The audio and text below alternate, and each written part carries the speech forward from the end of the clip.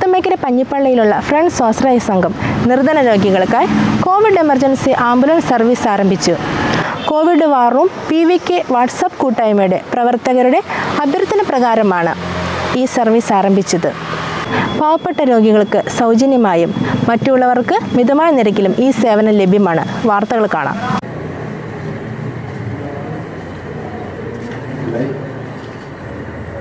Covid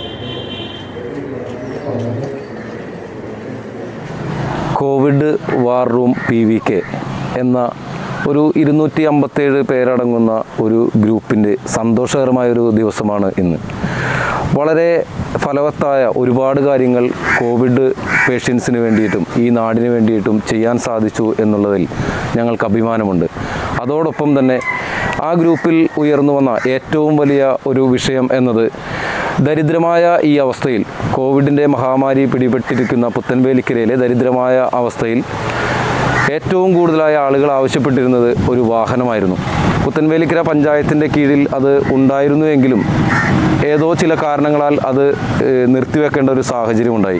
ആ സമയത്ത് രോഗികൾ വളരെയേറെ കഷ്ടപ്പാടായി. രാത്രിയിലായാലും കോവിഡ് വന്നതിന് ശേഷം രോഗികളെ കയറ്റുവാനോ കൊണ്ടുപോകാനോ പറ്റാത്ത ഒരു സാഹചര്യത്തിൽ. കോവിഡ് വാർ റൂമിൽ വന്ന ഈ വിഷയത്തെ സംബന്ധിച്ച് ഞാൻ പഞ്ഞിപ്പള്ളിയിലുള്ള ഫ്രണ്ട്സ് സ്വാശ്രയ സംഘത്തോട് സംസാരിക്കുകയുണ്ടായി.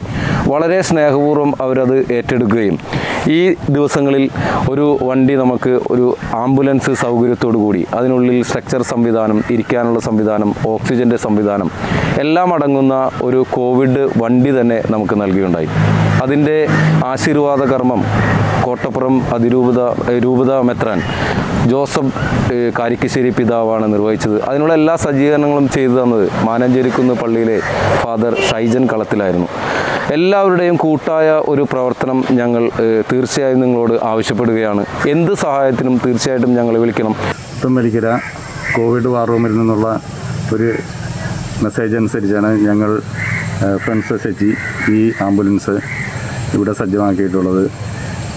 സമൂഹത്തിലെ തീർത്തും നിർധനരും പാവപ്പെട്ടവരുമായ ജനങ്ങൾക്ക് തീർത്തും സൗജന്യമായിട്ടാണ് ഞങ്ങൾ ഈ ആംബുലൻസിന്റെ സേവനം ലഭ്യമാക്കിയിട്ടുള്ളത്. ഞങ്ങളുടെ ഒരു ചെറുപ്പക്കാരുടെ കൂട്ടായ്മയായ ഫ്രണ്ട്സ് എച്ച് അങ്ങനെയുള്ളൊരു കൂട്ടായ്മയാണ് ഇതിനുള്ള സാമ്പത്തികവും എല്ലാം ഒരു കൂട്ടായ്മയിലൂടെ അത് നടപ്പിലാക്കിയിട്ടുള്ളത്. തീർത്തും എല്ലാ പാവപ്പെട്ട പാവപ്പെട്ടവരായ ജനങ്ങൾക്കും ഞങ്ങൾ ഈ ആംബുലൻസിന്റെ സൗജന്യം തികച്ചും സൗജന്യമായിട്ട് നൽകുന്നതാണ്. ഒരു ആംബുലൻസിന്റെ ആവശ്യം കോവിഡ് വാർ റൂമിൽ നിന്നും ഞങ്ങളെ പഞ്ഞിപ്പള്ള ഫ്രണ്ട്സ് എസ് എച്ച് ജിയിലേക്ക് അറിയിക്കുകയുണ്ടായി.